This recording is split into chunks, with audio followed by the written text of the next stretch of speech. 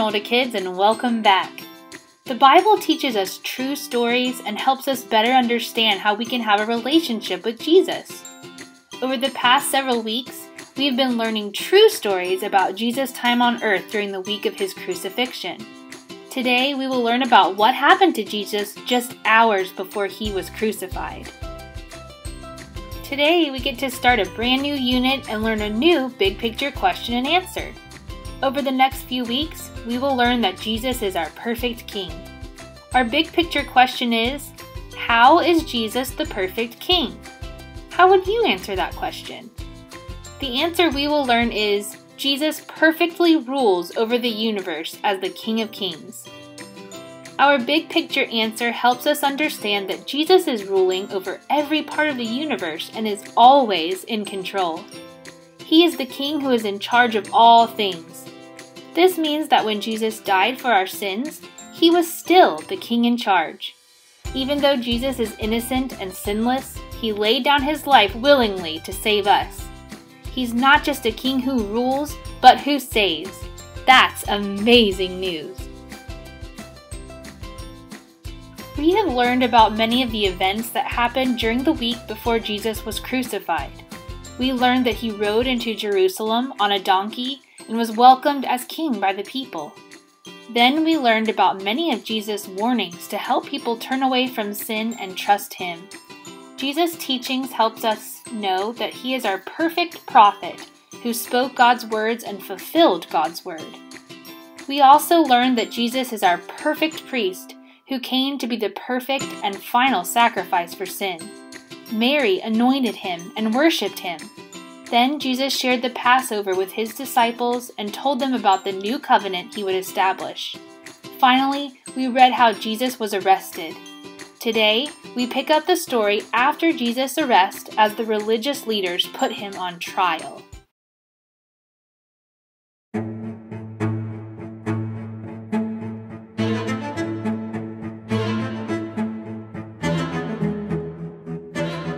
The men who arrested Jesus led him to the house of Caiaphas, the high priest.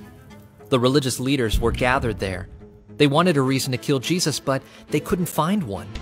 Finally, two men came forward and said, This man said he can destroy the temple of God and rebuild it in three days. Caiaphas stood up and asked Jesus, Is this true? What do you have to say for yourself? But Jesus said nothing.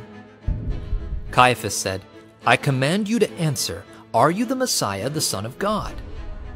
Jesus replied, Yes, that's right. In the future you will see the Son of Man seated at the right hand of God, and you will see him coming on the clouds of heaven. Caiaphas was angry. He and the other religious leaders did not want to believe that Jesus is God's son. They said Jesus was lying, but Jesus was telling the truth.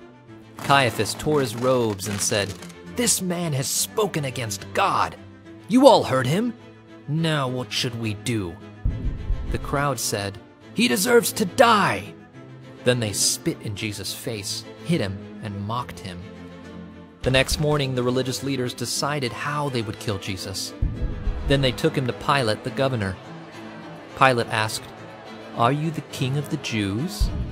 Jesus answered, Yes, that's right. Then the religious leaders made accusations against Jesus, but Jesus did not say anything. Pilate was surprised that Jesus was silent. Every year at Passover, the governor would free a prisoner, whichever prisoner the people chose. At that time, there was a prisoner named Barabbas who was very dangerous. So Pilate asked the crowd, Who do you want me to set free, Barabbas or Jesus, who is called the Messiah? The crowd answered, Barabbas!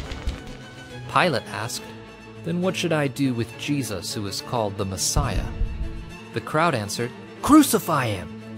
Pilate asked, Why? What has he done wrong? But the crowd kept shouting, Crucify him! Pilate saw that there was nothing else he could do, so he took some water and washed his hands in front of the crowd. I am not guilty of this man's death, he said. Then Pilate freed Barabbas and handed Jesus over to the crowd to be killed. Jesus was unfairly sentenced to die, although he did no wrong. Jesus was the perfect substitute for us, dying on the cross for our sins and rising from the dead. Everyone who trusts in Jesus has forgiveness and life with God forever.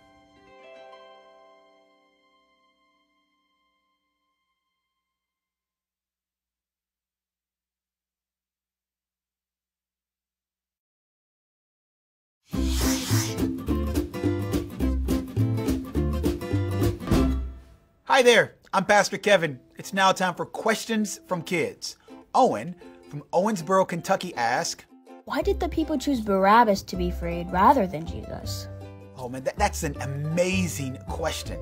Now, you would think that people would not want to kill Jesus, that they would have wanted to free him. Why?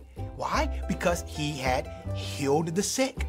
Jesus Christ had raised the dead. He healed the woman with the issue of blood. He gave sight to the blind several times. He fed thousands of people. He calmed the sea. He performed so many miracles that you would think anybody would say, Don't crucify him, crucify Barabbas. However, it was God's plan all along. We see that in Ephesians chapter 1 that all along God had a plan to redeem us and it required the sacrifice of his son Jesus Christ. Now, why did the people choose to do that? The hearts were hard and their eyes were blind. Satan had literally blinded their eyes.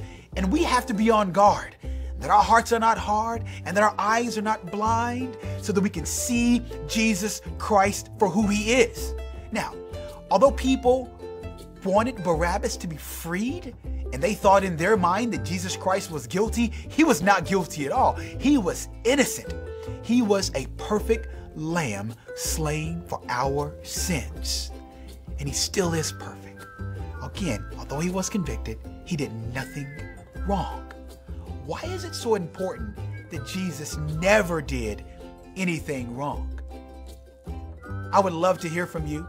If you have a question, email me at gospelproject.kids at lifeway.com, and next time I might be answering a question from you.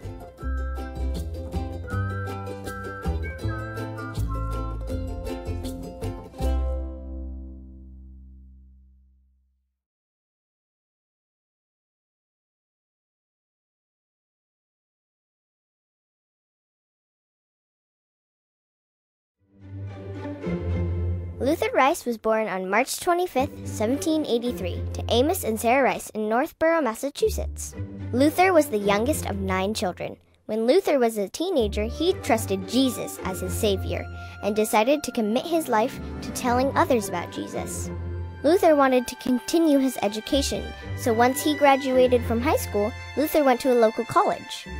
While at college, Luther met other young men who shared his passion for taking the message of Christ outside of America.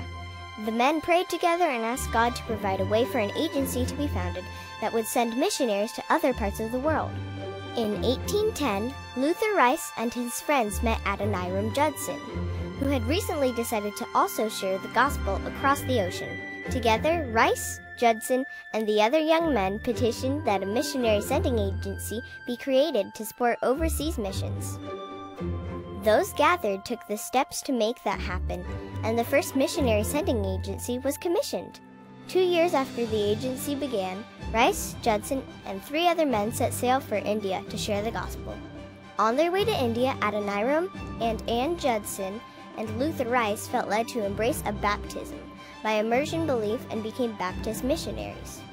Since there were no Baptist missionary sending agencies, one would need to be created. Luther returned to America and began preaching the importance of sending missionaries to other countries across the sea. By 1814, Rice had been instrumental in forming the first Baptist missionary sending agency in the United States.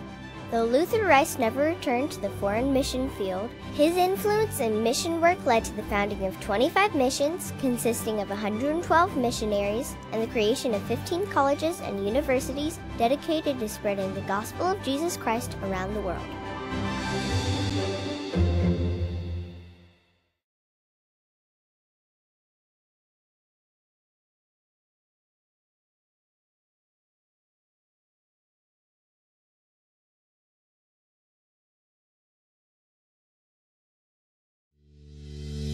Our key passage for this unit comes from Revelation 5:13.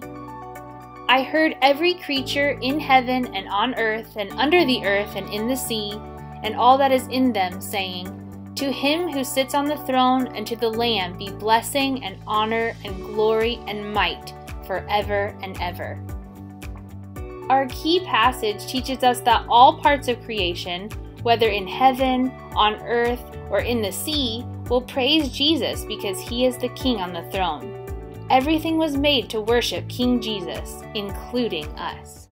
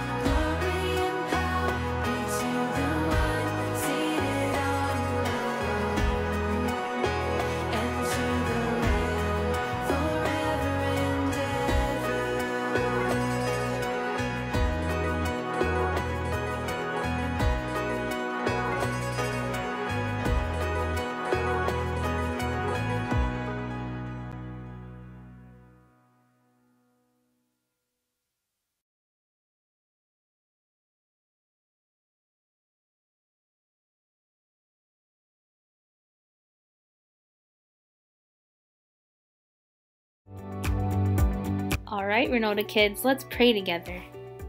God, thank you for sending Jesus to die for our sin and pay the price for our wrong, even when he did no wrong. We praise you for the grace and love you show us through Jesus. Amen.